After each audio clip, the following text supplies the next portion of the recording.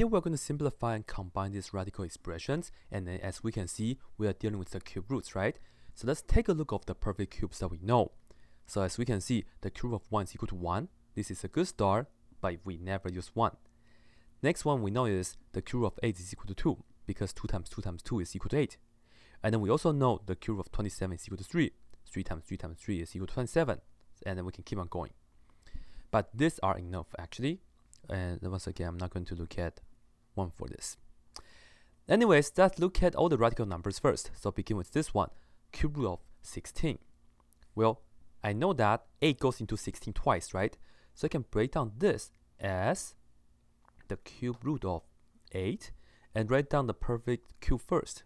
So we have this right here. And we know that 8 times 2 is 16, so cube root of 8 times cube root of 2 is cube root of 16. Same thing, right? And let's also try to see how to break this down. Here we have cube root of 40, and we also know that 8 goes into 45 times. So I can break this down as the cube root of 8. Once again, put down these numbers first, okay? And then we multiply by the cube root of 5.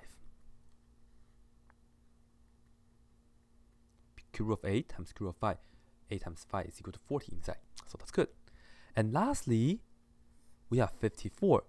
When we know that 27 goes into 54 twice, so I can break this down as the cube root of 27 times the cube root of 2 because 27 times 2 is equal to 54.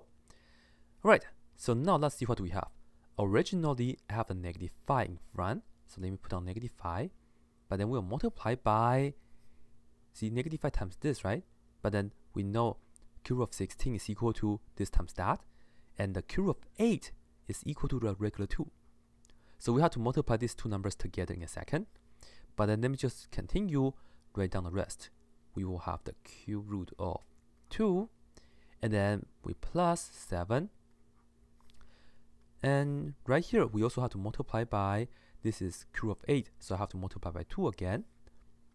And then this is the cube root of 5. Let me just put it down nicely for you guys, right here. And then at the end we have minus. And the good thing right here is that there's no number, so I'm just going to, I don't need to put down anything. We know this right here, the cube of 27, it's a regular 3, so I can put this down.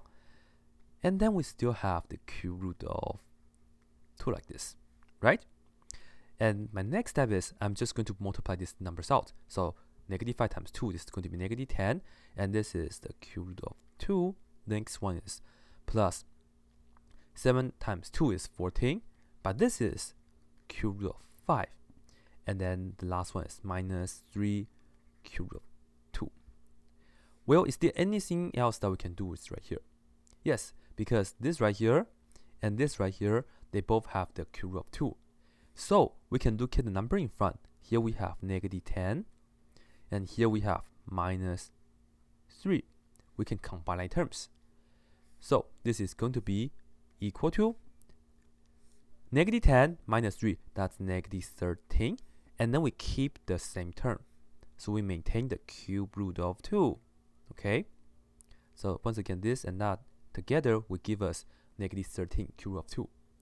And I just need to write this down because the cube root of 5 it's different than this. So I cannot do anything with it, just 14 cube root of 5. And this is the most that we can do. This is the answer. That's it.